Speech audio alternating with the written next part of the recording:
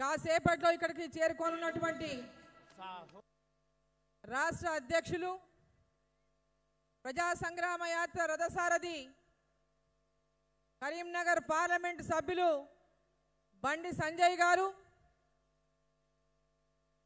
మరి ప్రజా సంగ్రామ యాత్ర ముగింపు సభకు ముఖ్య అతిథిగా కొద్ది నిమిషాల్లో సభకు చేరుకోనున్నటువంటి కేంద్ర హోంశాఖ మంత్రివర్యులు గౌరవనీయులు అమిత్ షా గారు వేదికమైనటువంటి పెద్దలు వేదిక ముందున్నటువంటి అన్న తమ్ములు అక్క చెల్లెళ్ళు మీడియా మిత్రులు అందరికీ కూడా హృదయపూర్వకమైనటువంటి నమస్కారాలు తెలియజేస్తా ఉన్నాం.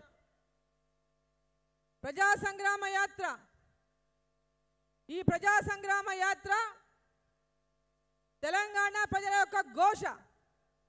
తెలంగాణ రాష్ట్రం వచ్చినప్పటి నుంచి కూడా నేటి వరకు ఈ రాష్ట్ర ముఖ్యమంత్రి యొక్క హామీలన్నింటినీ కూడా విని విని విసుగు చెంది ఈరోజు కేసీఆర్ చేస్తున్నటువంటి మోసాన్ని తెలంగాణ సెంటిమెంట్ పైన నీళ్ళు నిధులు నియామకాలని చెప్పి తెలంగాణ ప్రజల్ని మోసం చేసి బంగారు తెలంగాణ అనేటటువంటి పదే పదే బంగారు తెలంగాణ కళలు మనకు కలలు కనిపించి ఈరోజు ఆ బంగారు కుటుంబం కలను నిజం చేసుకున్నటువంటి కల్వకుంట్ల చంద్రశేఖరరావు కుటుంబాన్ని ఈరోజు తెలంగాణ రాష్ట్ర ప్రజలందరూ కూడా ఈ టిఆర్ఎస్ పార్టీని వచ్చే ఎన్నికల్లో గట్టిగా తీయాలని ప్రజా సంగ్రామ యాత్రలో ఉమ్మడి పాలమూరు జిల్లాలో అలంపూర్ నియోజకవర్గంలో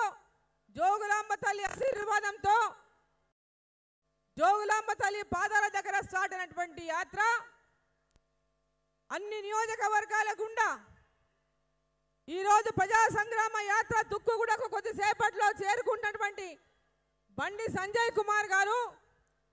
ఆయా గ్రామాల్లో ఆయా నియోజకవర్గాల్లో యాత్ర పొడవునా పెద్ద ఎత్తున ప్రజలు యాత్రలో పాల్గొని నీరాజనాలు పలికి ఈరోజు తెలంగాణ రాష్ట్రంలో తెలంగాణ ప్రజలకు న్యాయం జరగాలంటే కేసీఆర్ యొక్క నియంత పాలనకు అంతం పలికితే తప్ప ఆ యొక్క కుర్చీని కింద పడేస్తే తప్ప తెలంగాణలో భారతీయ జనతా పార్టీ అధికారంలోకి తెస్తే తప్ప తెలంగాణ ప్రజల యొక్క ఆశలు కలలు నిజం కావు అనేటటువంటి ఒక నమ్మకానికి ఈరోజు తెలంగాణ ప్రజలు వచ్చిరని చెప్పి తెలియజేస్తా ఉన్నా.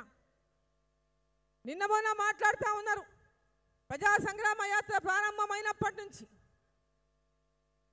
తెలంగాణ రాష్ట్రంలో ఎక్కడ చూసినా ప్రజలు టిఆర్ఎస్ పార్టీ పైన వ్యతిరేకత మూట కట్టుకొని వాళ్ళు చేపించినటువంటి సర్వేలన్నీ కూడా టిఆర్ఎస్ పార్టీ ఓడిపోతుంది. వచ్చే ఎన్నికల్లో భారతీయ జనతా పార్టీ అధికారంలోకి వస్తున్న సర్వేలు చెప్తున్నటువంటి నేపథ్యంలో ఈరోజు ఫ్రస్ట్రేషన్లో ఉన్నారు తండ్రి కొడుకులు ఇద్దరు కూడా. కేసీఆర్ గారు కేటీఆర్ గారు. ఈరోజు కేసీఆర్ గారేమో ఫ్రస్ట్రేషన్లో బయటకు వస్తలేడు. ఫామ్ హౌస్కే పరిమితం అయిపోయిండు.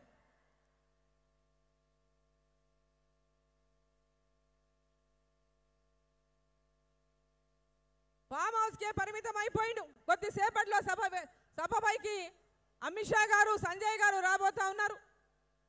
మరి లక్షలాది మంది వచ్చినటువంటి ప్రజలంతా కూడా ఈరోజు ఈ సభలో ఈ సభ ద్వారా తెలంగాణలో భారతీయ జనతా పార్టీకి అధికారం ఖాయమైనటువంటి సందేశాన్ని ఈ సభ ద్వారా ఇస్తున్నటువంటి నేపథ్యంలో కేంద్ర మంత్రివర్యులు ఈ సభకు ముఖ్య అతిథిగా విచ్చేసినటువంటి